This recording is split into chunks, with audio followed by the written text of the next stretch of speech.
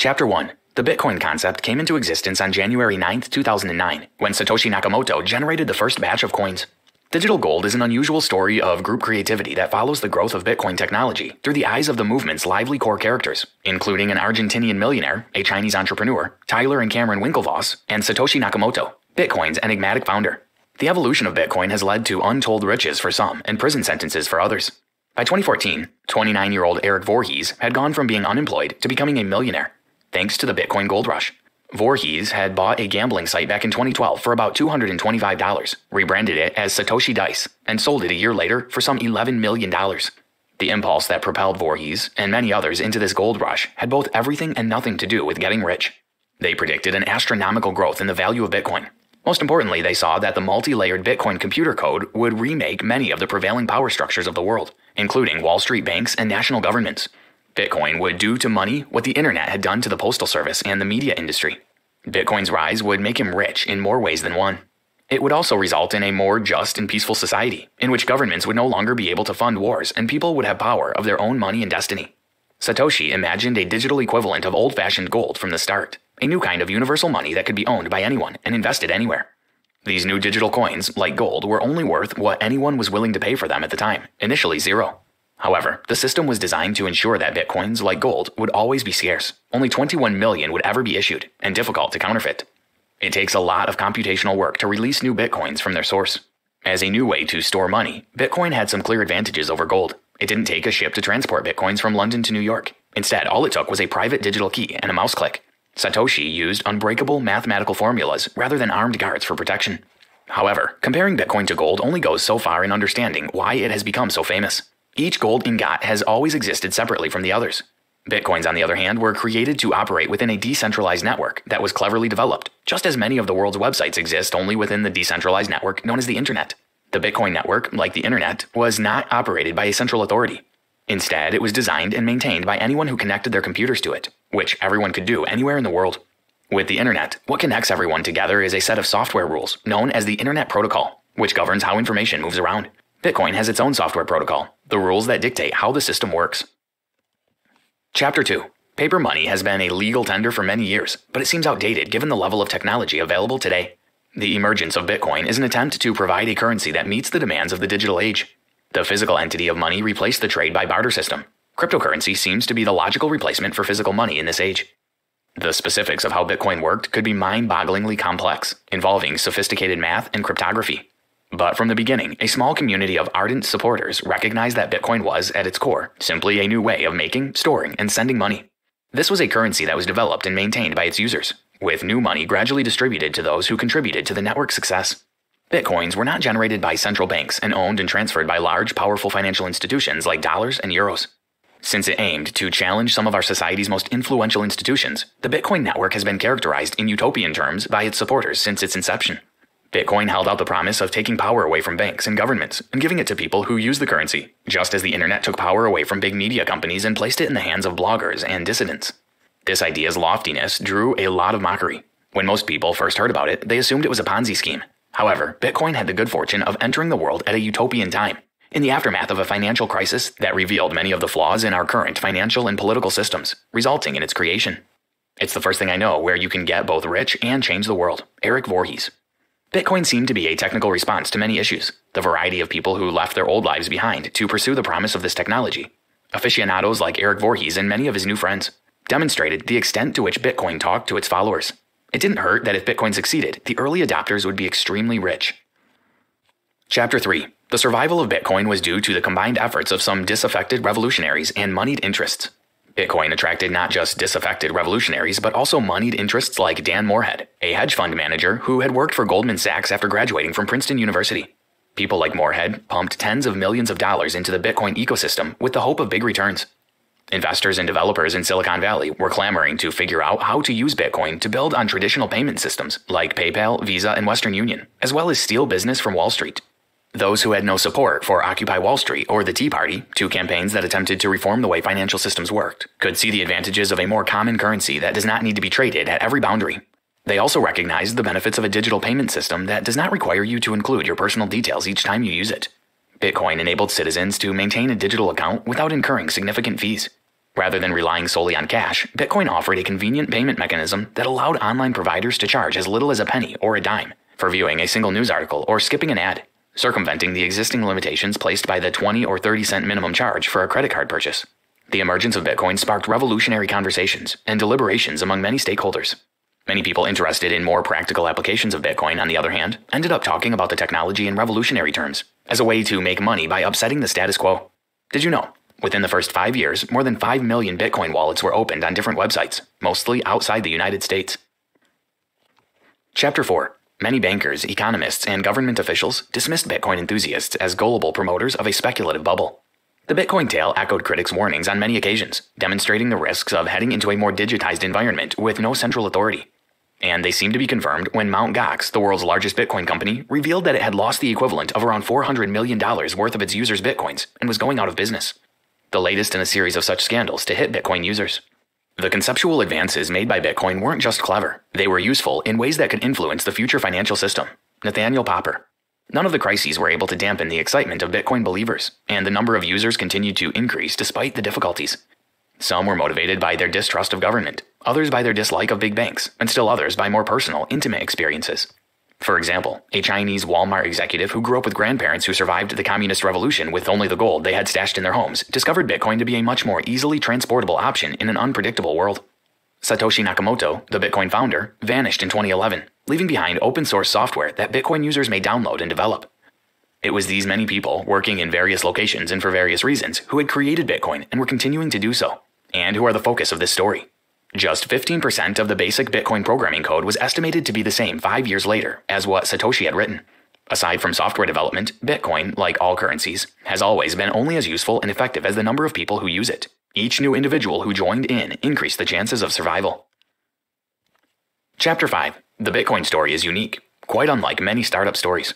The Bitcoin story is that of a collective innovation that tapped into many of the dominant currents of our time including outrage against the government and Wall Street, fights between Silicon Valley and the financial industry, and the expectations we have put in technology to save us from our own human frailty, as well as the fear that technology's power can create. Each of the individuals mentioned in this tidbit had their own reasons for pursuing this new concept, but their entire lives have been influenced by the desires, greed, idealism, and human frailty that have propelled Bitcoin from obscurity to a billion dollar industry. One should always anticipate both profits and losses when dealing with Bitcoin or any other investment. For some of the participants, the end result has been immense wealth in a limited amount of time. Others have ended up in poverty or even jail as a result of their actions. Bitcoin is never more than one major hack away from complete failure. Even if it fails, it will have presented one of the most interesting tests on how money works, who profits from it, and how it can be changed. It is unlikely to replace the dollar in the next five years, but it gives us a glimpse of where we could be when the government finishes printing dead presidents' faces on expensive paper. Chapter 6 the Bitcoin network allows members to generate their own Bitcoin address and a corresponding private key. A Bitcoin address is usually made up of 34 letters and numbers, while the private key is a string of 64 characters. For example, one actual Bitcoin address is 16R5PTOKA UN XXXJQ E4HG5J ZRFW69FNPATF. The private key for this particular address is 5JJ5RLKJYMMSXHAUOA334CDZN W6OLFMPFL8H1W9PYDOPMF3. Transactions from that address can only be signed off on by the individual who has this private key. There is only one private key for each Bitcoin address. The relationship between the private key and the address is calculated by a set of complicated math equations, making it almost impossible to locate the private key by working backwards from the public Bitcoin address. It costs nothing for a Bitcoin consumer to create as many Bitcoin addresses and private keys as they want. The length of the addresses and the sheer number of possible addresses make it nearly impossible to produce the same address twice. A consumer, let's call her Esther, can send money from her address using a private key without ever sharing it with anyone else. Rather than sending her private key out, Esther stores it along with the specifics of her transaction in software on her own computer. Instead of submitting this information to the network, Esther's computer's Bitcoin program runs it through a series of complicated math calculations, producing a unique code known as a digital signature. This step will take place even if Esther's machine is turned off. Esther sends this digital signature, which is a special product of her private key, and the transaction in progress to the network along with her transaction, almost like a check signature. Due to the mathematical advances involved in verification, the computers that obtain Esther's digital signature are unable to work backward to obtain Esther's private key. However, computers will combine Esther's digital signature and her public Bitcoin address into a new set of complicated math equations to check that the digital signature was provided by the private key corresponding to the public address.